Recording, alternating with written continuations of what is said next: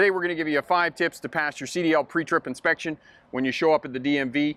This is directed towards tractor trailers, but it'll work for buses and smaller trucks as well.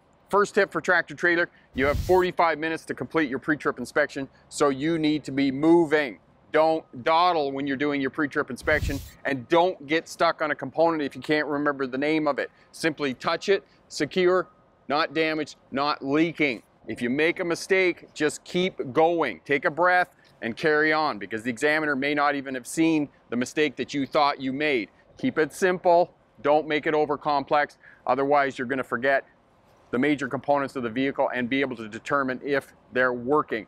And I'll put a video up in the corner here for you, up here, on ways to memorize the information you need for your pre-trip inspection because there's a lot of it. So, 45 minutes to complete your pre-trip inspection, don't dawdle. Tip number two, for the purposes of your CDL test, you are not determining if the vehicle is safe. You are demonstrating a competency. You know how to do the pre-trip inspection. You know the names of the major components of the unit and you can determine if they are working and they are safe to go up and down the road. So you are determining a competency and demonstrating that to the examiner. You're not determining if the vehicle is safe or not. That's for after you get out and start working. So again, this goes back to point number one. You got 45 minutes. Keep going, get it down, and time yourself when you're getting near the end and getting closer to your test date so that you're within that 45 minutes because most examiners are only going to give you a couple of minutes and then they're going to cut you off and you're going to be unsuccessful on your CDL pre-trip inspection. Tip number three, stick to the sequence. Don't get out of your sequence because then you'll forget stuff. If you stick to your sequence, then you're going to remember all of the information that you need to present to the examiner to be successful on your test. For me, the best sequence that I have found is on the passenger side of the engine compartment driver's side of the engine compartment, close the hood, in the cab, outside front of the truck, around the truck and unit in a counterclockwise direction, and then under the truck and then back in the truck at the end of that is your path of travel around the vehicle. When you're breaking the vehicle into sections, do the section, start at the top, left or right. If you stick to the sequence, it's less likely that you're going to forget something on your pre-trip inspection when you're doing your test. Blood, sweat, and tears.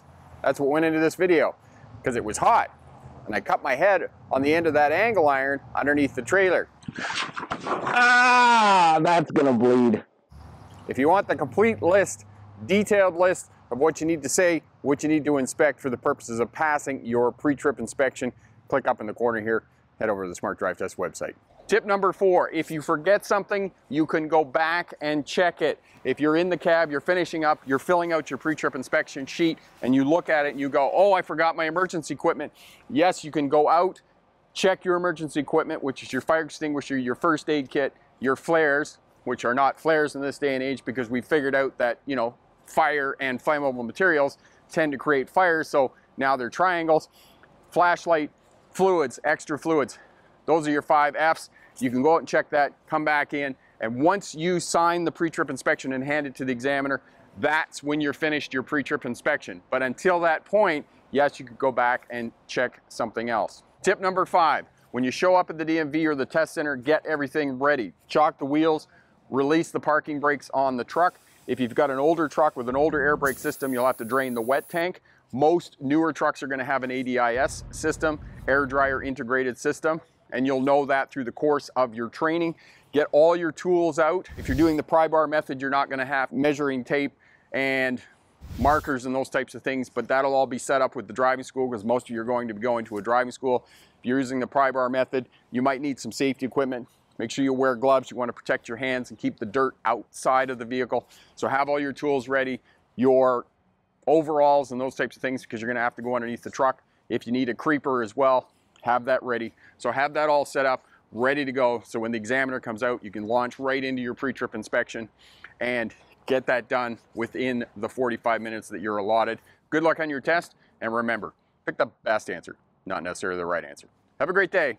Bye now.